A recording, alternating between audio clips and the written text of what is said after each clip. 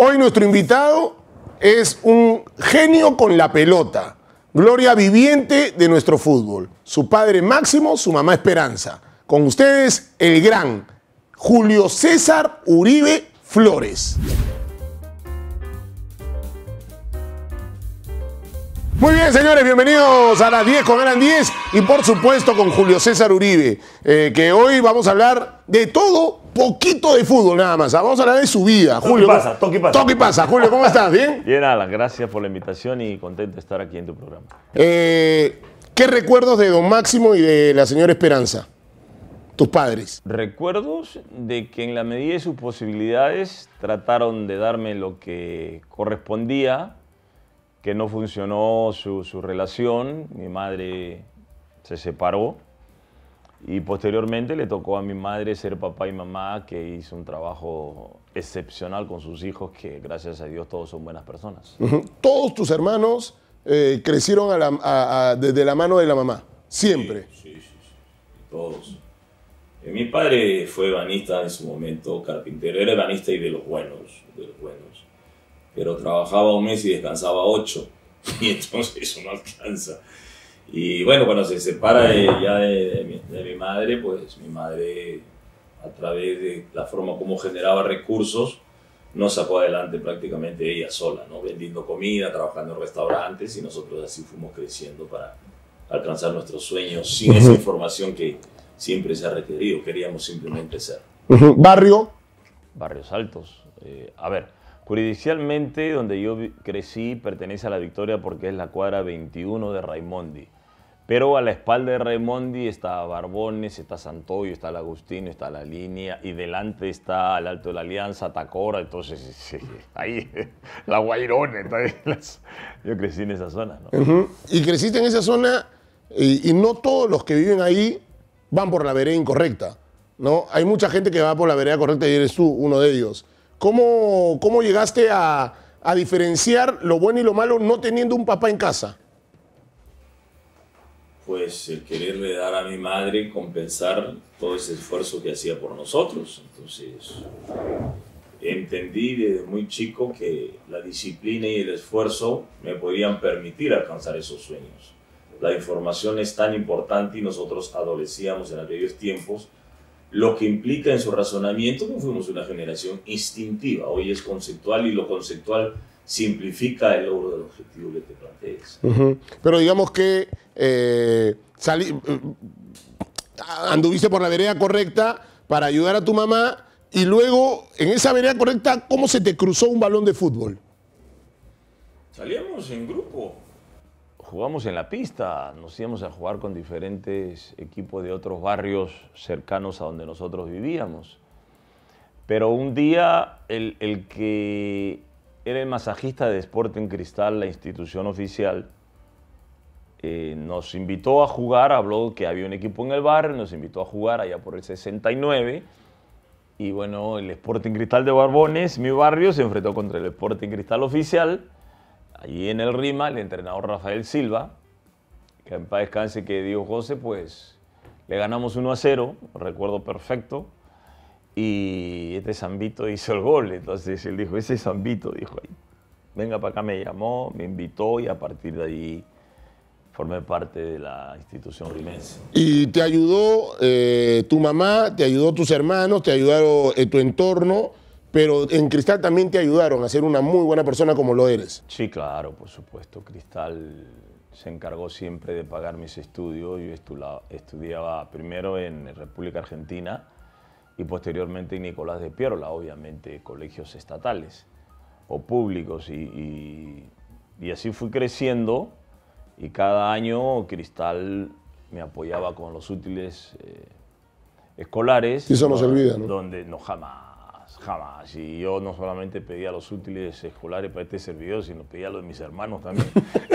ahí va la lista, ahí va la lista. Y yo, ellos sin ningún problema. Nunca objetó nada. Todo lo que uno requería siempre y ahí yo compartía con mis hermanos, como lo he hecho toda mi vida. Y hasta ahora comparte con tus hermanos.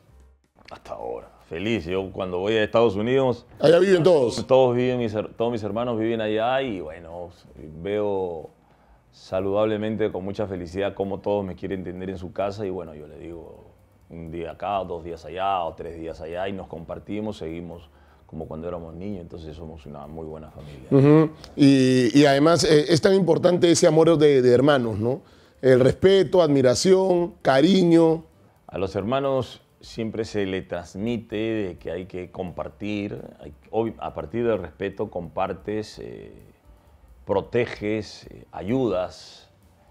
Eh, no es eh, para generar conflictos que muchas veces en determinada etapa de la vida se presentan, pero bueno, hay quienes lo entienden, hay quienes no, y al final uno se siente tranquilo y feliz si, si comparte bien con la familia y tiene armonía para poder disfrutar. ¿no? ¿Qué te dio el fútbol? El fútbol, la felicidad de poder ayudar a mi madre a tener cosas materiales que no teníamos, pero fundamentalmente acompañado del amor, que es un tema espiritual más que lo material, el poder ayudar a mis hermanos a que todos emigren, el poder compartir con ellos, el poder construir una buena familia, el tener buenos hijos, y paralelo a ello gozar del respeto y reconocimiento de la gente de mi país porque tuve el privilegio de ser parte de quienes lo representaban. Entonces, Mejor fortuna, mayor fortuna que esa no existe. No apunto y no vivo obsesivo por lo material. Me he nutrido, he mejorado, la palabra aprendizaje creo que la he ido desarrollando como corresponde en función a lo espiritual. O si no, yo hubiera sido chorizo, morcilla, longaniza, si el barrio, si el barrio es lo que uno tiene. Claro. Entonces a uno no le van a contar cuentos. Pero el primer sueldo que te dio Cristal, ¿se lo diste íntegramente a tu mamá? Sí, claro. eh, eh, fue, una, fue una imagen que hasta ahora la recuerdas cómo, cómo tu mamá lo recibió. Bueno, mi mamá no quería recibirme. Mi mamá, no, hijito, eso es para ti. No, madre, es para ti. El sueldo, tú ves lo que haces, con, como se lo comparte con mis hermanos. Y a partir de ahí, el segundo sueldo siempre, mitad para mi adorada madre, que en paz descanse, y mitad para mis hermanos. Así crecí. Siempre dándole a tu mamá. siempre. Sobre todo mucho amor, ¿no? Y, mucho respeto y mucha valoración donde uno a veces no entiende cómo se puede ser mal hijo. ¿no? Yo creo que lo primero es lo primero y lo primero es el vínculo afectivo, los padres. Puedes simplemente respetar y no querer de repente en la dimensión que el padre podría merecerlo, eso es, tiene muchas condicionantes, pero el de la madre es un amor invalorable, incalculable, más allá de lo- lo, lo material, lo espiritual que es desde el momento en que estás en, en el vientre, ¿no? Eh, la importancia de, de- de conocer lo que no se conocía. La madre es eh, el único ser humano de valor incalculable porque es la única vida capaz de dar vida, protegerla, educarla, alimentarla. Tiene tantos valores y yo no entiendo cómo pueden haber malos hijos, ¿no? Pero bueno, cada quien es como es y nosotros tenemos que conservar esa esencia. De acuerdo, de acuerdo. Eh, y por eso hay que valorar a la mamá, ¿no? Porque después cuando no la tenemos, olvídate, ¿no? Estamos viendo el celular cada rato a ver si nos llama, ¿no? Y cuando nos llama en vida, le colgábamos, ¿no? Ay, mi mamá, estoy ocupado, ¿no? Este, y no, no valoramos eso. eso Un es- hijo agradecido es un hijo bendecido y, y yo no tengo ninguna duda que he sido un hijo bendecido. Ninguna duda, Dios me ha iluminado siempre para tratar de ayudar. Entonces, Eh, y luego formaste un hogar con Clara, con Paulo, con tu hija, con Julio Exxon, una familia eh, ejemplar de, de- que, que además grafica mucho amor, ¿no? Grafica mucho amor, mucho respeto además. porque elegí una gran mujer para construir nuestro hogar, para constituir nuestra familia. Mi esposa es excepcional. Hay que ser esposa de un futbolista. ¿eh? Oh, Hay que ser esposa de un futbolista. ya no debes jugar pichangas tú, ¿o sí? No, no. Sí, sí, claro, salgo a jugar, pero normal, no hay nada que... de Claro, claro. de qué Este, preocuparse, pero, pero, pero, hay que, o sea, todo ser humano se puede equivocar, pero el corregir dignifica al hombre. Entonces, de lo que subliminalmente mencionas, ojalá puedan recuperar lo más importante que es sus familias. Y, y- errar es humano y perdonar es divino. Hay cosas que son imperdonables. Nada es imperdonable en la vida. Eso depende de la sensibilidad de tu corazón y la fortaleza de tu mente. Porque la familia es la familia y muchas veces hay cosas que negociar en el buen sentido de la palabra para reencontrarte con la felicidad. La felicidad es el propósito de vida de todo ser humano. Aquellos que la merecen y las que no también, pero es el propósito. Entonces yo tuve la suerte de elegir una gran mujer en todos los, los, los, los órdenes de la vida. ¿En qué, año, en, qué, ¿En qué año te casaste? se- 79, O sea, ella te acompaña a Italia. por supuesto. Ella te acompaña a Italia porque Julio César juega en el Cagliari en el año Claro, 82. 82. Antes este, era bien complicado salir al exterior. Tú, tú fuiste el- eh, uno de los primeros, creo. ¿No? Con Digamos. Barbadillo. Claro, eh, antes Sotil y Miguelito Sotil, Loaiza y. Soriano y Conejo Benítez. Pero digamos, tú en eh, salir eh, al, al fútbol italiano, donde solamente se permitía un extranjero por Dos. equipo, dos, Dos. extranjeros por equipo, y te llevaron a ti, a un peruano. ¿no? Sí. Entonces ahí te acompaña Clara a Siempre, Italia. Siempre ha estado. Y después a México como técnico. Siempre. México, Colombia, donde me ha tocado estar, siempre mi esposa, mis hijos, mis hijos, mi esposa y, y mi señora ha hecho un gran trabajo, ¿no? Definitivamente, no solamente como madre o como esposa, sino como hija, como amiga, como nuera. Es, es- es espectacular. Entonces, eh, Dios me ha premiado con la pareja que tengo. Eh, hay, muchos dicen, ¿no? Julio César Uribe habla bien. ¿Por qué habla bien? ¿Por qué se expresa? bien? Pues somos así en el Perú. Lamentablemente somos así, ¿no? Oye, ¿por qué habla así? Hable simple, compadre, te dicen, ¿no? Ya, pe, depende, depende del momento, pe. Yo también puedo hablar así, igual es lo Eh, ¿Por qué eh, eh, o dónde te preparaste para expresar tus ideas tan bien eh, y llevadas además a, a que la gente la entienda de que Julio César Uribe es un tipo además preparado? ¿cómo, cómo, cómo llegaste a aprender? ¿La vida te dio esa- ese aprendizaje? Leyendo, leyendo. Culturizándote. Leyendo, leyendo y leyendo. O sea, aperturando mi mente, generando permanente reflexión de lo que leía. Uno de los primeros libros que leí fue de Pablo Coelho, El Guerrero de la Luz. Posteriormente se lo regalé a mi hijo, de Juan Dyer, de Miguel Ángel Cornejo, las he leído todo, a Ulises Selim, El Secreto del Éxito. He leído Tom Harris, You Are Okay, I'm Okay. He leído muchísimo y sigo leyendo. Hoy hace poco me regaló Walter La Semilla, que he empezado a leer. Walter Vilche, que fue mi jugador en la Sub-20 Ah, y que está dentro del proyecto de- de- del club. Qué lindo cuando, tu- cuando, jugadores, ¿no? cuando tus jugadores son gratos, ¿no? Y, no, el otro día le preguntaba a Cuto y, y un poco más y o sea, llora por, por- por- por- de, de hablar de ti, ¿no? O sea, eh, hay esa gratitud de los, de los jugadores, ¿no? Y es la verdadera empatía, pues, ¿no? La humildad y los valores. Los valores y la humildad en el orden que quieras interpretarlo, pero la humildad es lo que nunca se debe perder y la gratitud menos. Entonces, cuando uno interactúas, conoces a la persona y puedes formarte un concepto. No es del qué dirán, no es, no es el que me dijeron. Y somos una sociedad que forma concepto en base a lo que me dijeron. Y eso hay que entenderlo también. Antes de repente no lo entendía, pero ya con 65 cheques entiendo todo. O al Me- menos trato, Ah, trato. Me, me enteré, me enteré que ibas a incursionar en la política. Yo dije, llegó el Obama peruano. Llegó el Obama peruano. Este, ¿Querías llegar a la política? ¿Quieres llegar a la política? Eh, ¿Te gustaría, no, no sé si, no, no sé si como congresista, pero te gustaría ser autoridad? ¿Te gustaría ser presidente del Perú? Sí, sí, pero no. Sí, pero no. Sí, pero no. Porque dentro del sí, si hay algo que quisiera de verdad es tratar de generar equidad, porque la igualdad es un signo matemático, no existe, y la gente tiene que aprender que la igualdad no existe, ni va a existir.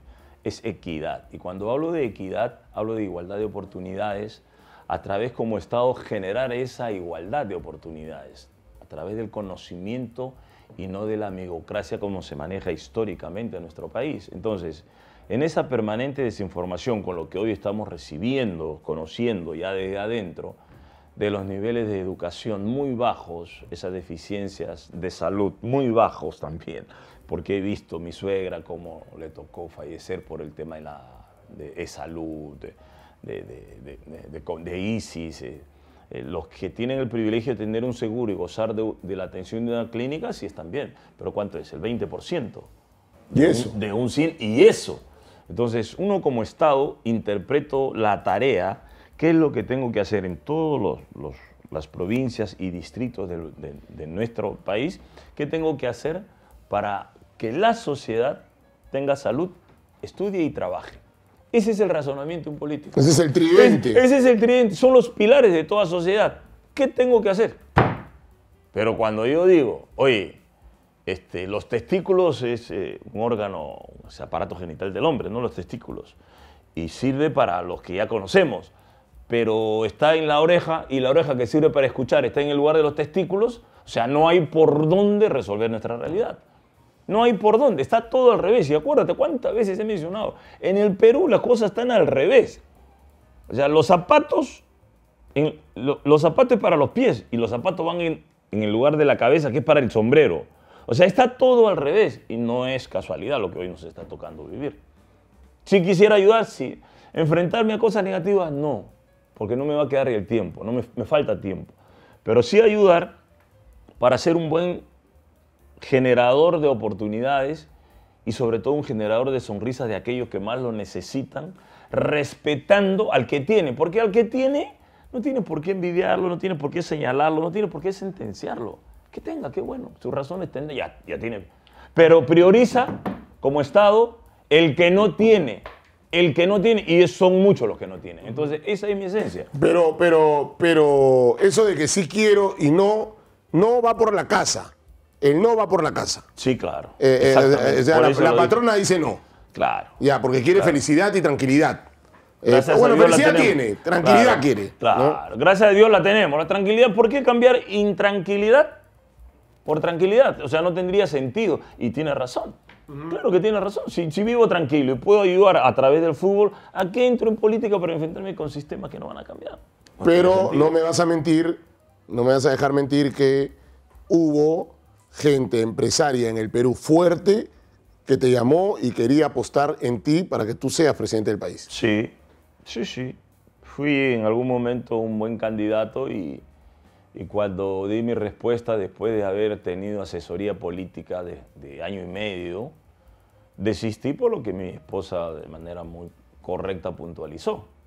Entendí porque es más, insistieron en que sea yo por mi perfil de servicio, de vocación, de sensibilidad, de ser un buen generador de alegría, porque tuve el privilegio de formar parte de 25 jugadores que generaron felicidad eh, a través del fútbol a todo un país. Y entonces esa sigue siendo mi esencia, o sea, cómo mejorar a que el Perú sonría, que esté feliz, que no sufra más. Mirar la película es jodido también. Uno se siente a veces impotente para querer hacer más por la gente que más lo necesita. Que el que tiene y sonría, qué bueno que sonría, pero el humilde también tiene derecho a sonreír. Marca el diamante, ganó Julio César Uribe, es presidente de la República. ¿Cuál sería tu primer eh, decreto? ¿Qué harías? Tu primer decreto, si es que sales elegido y yo, yo, te lo digo, yo votaría por ti. Mi primer decreto, mi primera propuesta sería a través de los diferentes ministerios cómo generar equidad en los diferentes espacios donde la inequidad es una constante. ¿Cómo haríamos? Propuesta, lluvia de ideas, decisiones, porque así es como se debe trabajar, agendamos de manera unánime, articulamos y tomamos decisiones que como propuesta oficializamos después. ¿Cómo generamos puestos de trabajo? cómo mejoramos la educación, cómo mejoramos la salud. No es derecha, izquierda, izquierda, derecha, no es. Cuando uno tiene, o hace una analogía del cuerpo humano que es tan perfecto, un órgano y un miembro necesita del otro. Son miembros, órganos vinculantes para poder ser funcional. ¿Cómo funciona un Estado si es totalmente, desvinculante en, todas, en todos sus estamentos? ¿Cómo haces? A ver, sentido común. No, no hay que salir de Harvard. ¿ah? No hay que salir de Harvard para ser inteligente. o de la Vallejo. Eh, o de, sentido común. O sea, sentido común. ¿Cómo hacemos para funcionar? El, futbolista es, es, un ejemplo de que si no funciona bien en todos los gestos corporales, la inteligencia, la, la habilidad, la velocidad, la potencia, la fuerza, no es un buen jugador, no compites. Y entonces la política es lo mismo, haciendo una analogía o comparativo, ¿no? Analogía o comparativo somos disfuncionales de más de 50 años. Más de 50 años. Barbaridad. Entonces, y, la vida ya no te alcanza para, para intentar aportar, sumar. Acá destruimos, destruimos y destruimos. Uno de los mejores sudados que he comido ha sido en tu casa. Eh, ¿Quién te enseñó a cocinar o cómo llegó el arte culinario a tu, a tu sangre? Porque eh, el sudado que me invitaste, no, de verdad, está entre los tres mejores de Lima. El ceviche, una barbaridad. No, el ceviche increíble. ¿Cómo llegaste a, a, a cocinar, a ser un chef? Cuando estuve desempleado dos años.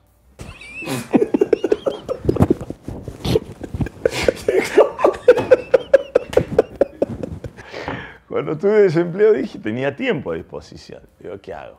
A ver, trotaba de vez en cuando, entrenaba. Tengo que hacer algo útil. Conversé con mi señora, hicimos unos cursos y ahí me empezó a gustar, a gustar, a gustar. Y, y, no hay nada más lindo que, que, ¿Cómo es, no? Lo que se hereda no se hurta. Mi madre, que fue cocinera, a veces yo mirando ahí cómo ella cocinaba, me dice, hijito, anda a estudiar, hijito, anda a jugar, no te vayas a quemar, hijito. Sería bueno que en algún momento tú aprendas, hijito, pero estás muy chiquito, me decía mi viejita. Y fíjate, termino cocinando. Y cocinando, cocino todo lo que quiero. Si quiero pastas, pastas. Si quiero risotto, risotto. Si quiero parrilla, parrilla. Si quiero marisco, marisco. O sea, cocino todo. Y lo disfruto con mi familia y con mis buenos amigos. De acuerdo. Esa es mi verdadera fortuna. De acuerdo. Ahora, los, la mayoría de chicos que cocinan, en mi casa también mi hijo cocina, este, dejan la cocina patas arriba, ¿no? O sea, todo sucio, todo ahí de, este, desordenado. Cuando fui a tu casa, tú vas cocinando, lavando, cocinando, o sea, sigues haciendo el, ritmo como entrenas, ¿no? Cocinando, lavando, o sea, este, ¿no? Eh, y el miserable de tu hijo, este Paulo, cuando nos invitó a almorzar a su casa, dijo, acá está el sal de Andrew, ¿sabes? Por si acaso para... Pero hay, hay, una buena, que siempre hay que darle el, el lugar a quien se lo merece. Cuando yo empecé a cocinar, hacía lo mismo. O sea, cocinaba, picaba y dejaba y dejaba y dejaba. Y mi señora miraba, mi señora miraba. Ah, no, no, no, no, no, no. no. Un momentito, pues. Mira, amor, me dijo. Si vas a cocinar con ese desorden, mejor ya no cocines, ¿ah? Rum, me alineaste. De buena forma. Lo dije, sí, pues, tienes razón. Porque uno tiene que ser ordenado. Y entonces contribuyó a que yo haga lo que, lo que corresponde. Cocino, pico, tin, tin, lavo, ordeno, tatal y amarse tranquilo y después de tu, tu, tu, tu, digestión tranquilo vuelves y lavas. Ahora, también he visto que abres una botellita, una chelita. Eh, Gracias a Dios lo que me provoque tomar y lo que le provoque a mi familia y lo que lo provoque a mis amigos, gracias a Dios está a disposición. Es lo que corresponde, después de tanta lucha, después de tanto esfuerzo, de manera correcta, sin envidiar a nadie, sin señalar a nadie, siguiendo simplemente un camino que te permita estar como estás. De acuerdo, de acuerdo. Eh, tomo de todo, si me decís de, socialmente, una cervecita negra, cervecita negra, la otra clarita, clarita, también la, la cor, cor, todo lo que, whisky, whisky, pisco, pisco. Estamos para disfrutar lo que gracias a Dios con tanto esfuerzo. Pero tus hijos pasar. nunca te han visto cruzando la vereda en el tema del, siempre jamás, ecuánime. Jamás. Mis hijos jamás me han visto ebrio. Contentos, sí. Pero cuando he estado con mi señora y, y con mis hijos, papá, ay, no más, ya canto, déjame cantar feliz. Claro, comparto con mi familia, ¿cuál es el problema? Pero, pero me controlan mucho y me cuidan mucho y gracias a Dios me quieren mucho. ¿no? Eso, eso... Como uno ama a sus hijos, tú sabes. Uh -huh. Nuestros hijos son nuestro combustible de vida, a pesar de que ya están grandes y bien formados, gracias a Dios. Son buenas personas. Y, y, este, igual como nosotros con, con, nuestros padres en su forma que hicieron para con nosotros. Uh -huh. son, son, los procesos. Pero eres, una, eres un abuelo querendón. Oh. oh. no, se te cae, oh. pero la babaza con los, con los nietos. ¿eh? Los oh. hijos de Julio Exxon. Y, tu, y tu, tu hija en México también tiene. Claro, mi nieto mayor, mi nieto mayor, César, tiene ya 22 años. Y bueno, fue el primero, ¿no? Igual engreído, es, es, chef también, vino a estudiar aquí, como corresponde lo apoyamos, vive allá, ayuda a su mamá, está bien, o sea, la familia bien. Y los hijos de Exxon, uno de ellos, eh, yo no me debo morir si no lo veo en un equipo de Europa, porque tiene unas cualidades con seis años, es una pasión impresionante. Y bueno, el Ezequiel que es antes, que es de Exxon, y Emilio, que es el que juega, el otro va a ser actor, es increíble. Eh, ese cerrado. Va a ser un cerrado es actor. Cerrado es actor. Y el último que acaba de nacer de Paulo, que... ¡Ay, es papá Paulo! Sí, claro. Un año, año, cuatro meses tiene mi nieto menor. Es tan bonito que hasta cuando llora es bonito. es el único niño, el único niño cuando yo eres bonito. ¿Qué tal Pepa este muchacho?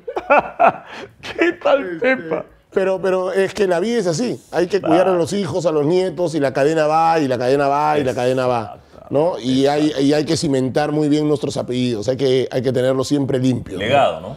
Legado. Famoso Le- legado. legado. Eh, hablando de legado, tu escuela de fútbol, ¿cómo va?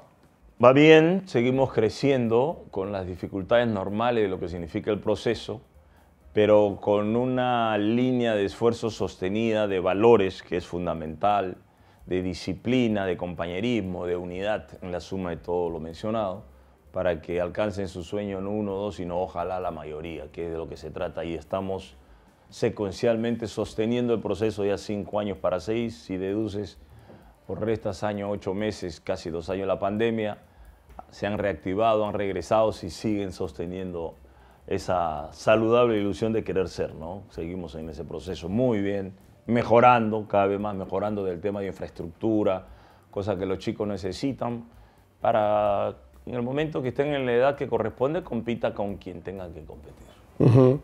Eh, la vida es una constante competencia. La- y con el riesgo permanente. Desde que llegas al mundo hay un riesgo. Desde concibes, desde que concibes hay un riesgo. Entonces, ¿por qué vas a tener miedo de enfrentar la vida? Tienes que enfrentarla, pero con la orientación correcta para que te equivoques menos o para que te golpeen menos. En una sociedad que el común denominador es golpear. ¿Ves, ves nuestro país con tantas situaciones adversas, con tanta gente que va por la, por por la vereda incorrecta? ¿Eres orgulloso de ser peruano? ¿Te sientes orgulloso de ser peruano? Sí, porque por el país sí.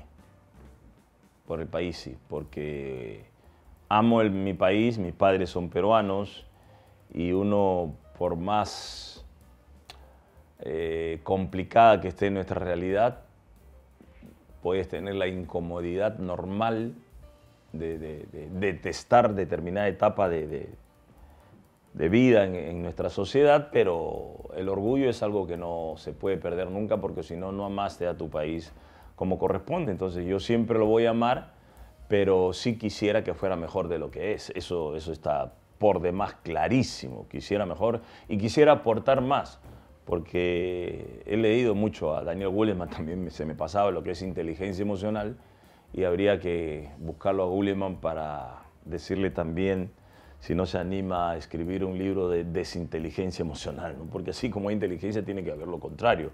Todo se desarrolla en interpretaciones opuestas o palabras opuestas.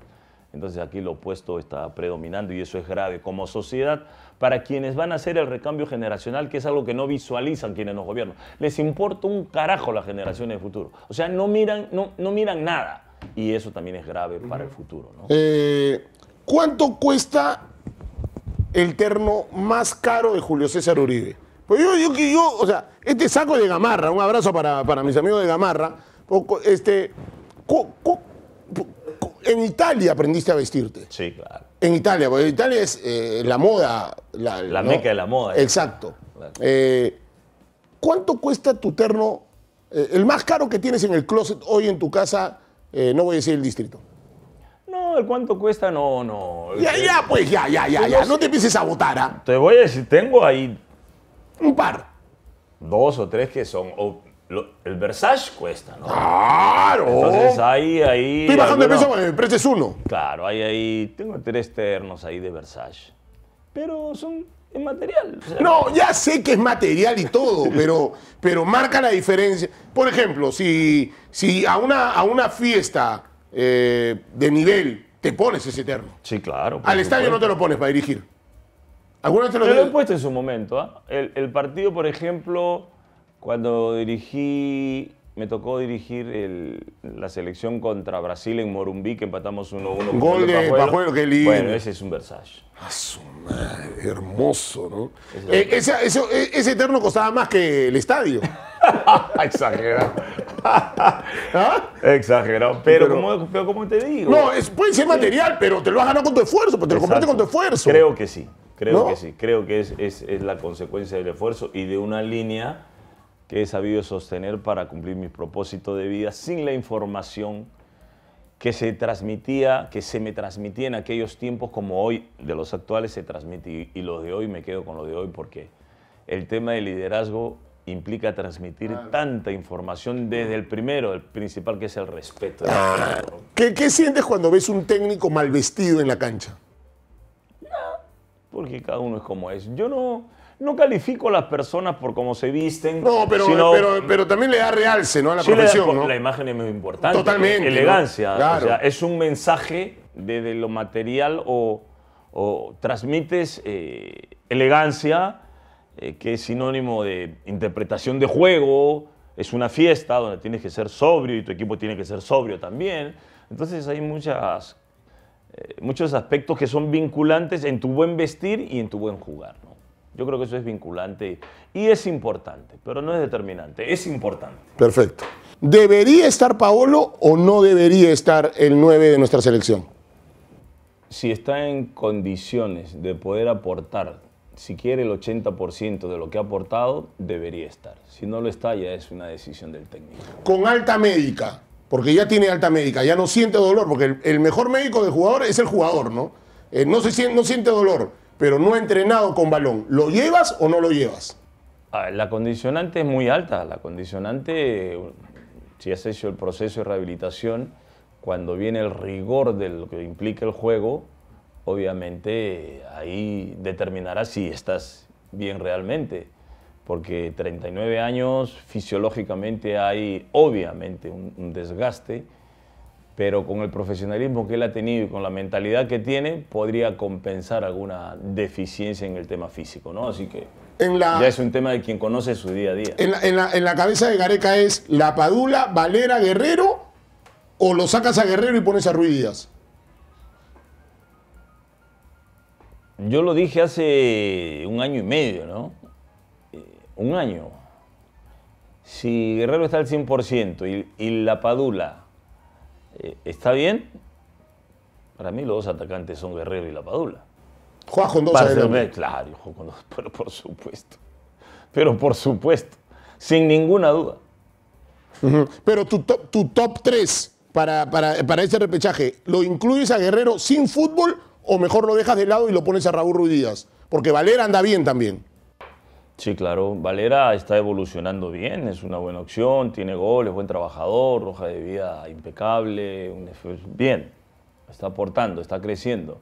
Y ese día a día lo conoce Ricardo, ¿no? Entonces, lo de Ruiz Díaz, que con gol dice no me olviden, no toca la puerta de nadie, a mí me encanta eso.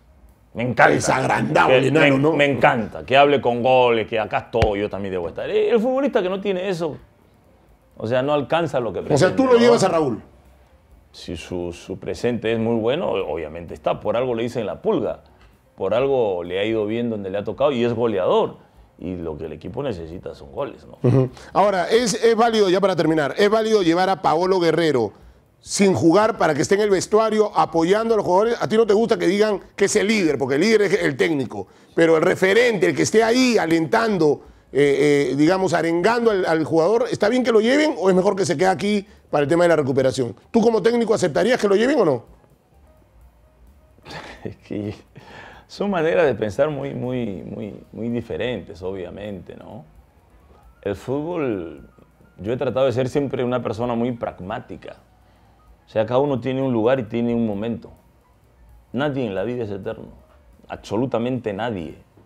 Pero como he pensado siempre un poquito más allá de lo normal, puedo caer incómodo y, y- y lastimar a quien no lo merece, con una expresión nada más. O sea, humildemente, a mí me sirve un jugador si juega, particularmente. Eh, yo creo que Pablo no es un jugador que merezca esa clase de reconocimientos. Es un merecimiento, para mí sería superficial. El mejor reconocimiento que él- del cual él podría gozar es el respeto, el cariño de la gente de nuestro país que le reconoce el gran trabajo que ha hecho con la selección. Esa es su fortuna. Nada más. Nada más, yo no, lo otro no. Pero cada quien tiene su forma de pensar y hay que respetarla también, ¿no? Él, él- él va a ser eh, un jugador inolvidable por todo lo que le ha aportado a la selección, como lo ha sido en su momento Chumpitaz, como lo ha sido Teófilo, como lo ha sido Cueto, como lo ha sido El Chorre, como lo ha sido Maestri, todas las generaciones. Algunos logrando el objetivo, otros no. Todos son históricos y eso hay que saberlo interpretar, saberlo agradecer y tratar de seguir siendo eh, positivo para con las futuras generaciones de nuestro fútbol. Es, lo que corresponde. Vamos a, vamos a jugar un ping-pong con Julio César Uribe. Eh, te voy a dar, te voy a dar un- una palabra y, perdón, una, una frase, una palabra y tú al toque con lo que se te viene y si te quieres este, extenderte, te extiendes. Eh, Alberto Gallardo. Mi compadre, que fue pieza muy importante en mi etapa de vida a partir del momento en que me casé, incluso en su momento como compañero cuando él ya jugaba y yo era calichín. Importantísimo. Compadre y amigo. Sporting Cristal. La institución a la que eh, voy a estar agradecido toda mi vida, como lo he mencionado, mi gratitud es de por vida y que no está condicionada a que yo sea técnico, no. La quiero y vivo agradecido de por vida. Política. Un espacio que te otorga un poder que es para servir y, y los políticos con honrosas excepciones que son muy pocas no entienden que el tema no es servirse de la política. Brava la cosa. Fútbol. Pasión de multitudes, Tu vida. parte determinante de mi vida, porque a través de ese vínculo alcancé mis sueños y me constituí en un buen ser humano, pudiendo haber sido un choro de los buenos. Nietos. La prolongación de la vida de mis hijos.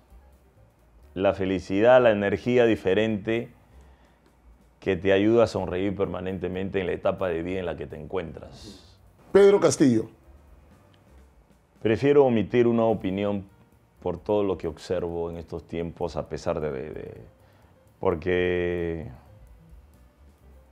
hay que haber sufrido de verdad para cometer tantos errores en tan poco tiempo. Entonces, sería muy, muy... Soy muy expresivo por naturaleza y prefiero omitir la opinión para no herir susceptibilidades. En este programa tenemos una cámara mágica. Eh, tenemos una cámara, la cámara de acá, y esta cámara que siempre poncha a nuestro invitado. Acá ha hablado de su hermano Manolo Rojas, ha hablado de su hija Valerie Vázquez. Muchas personas han hablado de esa cámara mágica. Y tú eres un invitado especial en el programa. Y que quede que la parte 2 la vamos a hacer en tu casa, preparándonos un sudado. Perfecto. Perfecto. Ok, parte 2 en la casa de Julio César Uribe. Pero esa es la cámara mágica del programa. En esa cámara mágica está tu mamá. ¿Qué le dice Julio César Uribe a su mamá en nuestra cámara mágica de a las 10 con Alan 10? Ahí está, mira, ahí está tu mamá.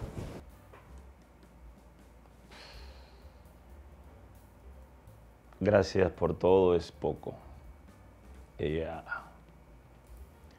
ella fue mi combustible de vida, que siempre estará en mi corazón.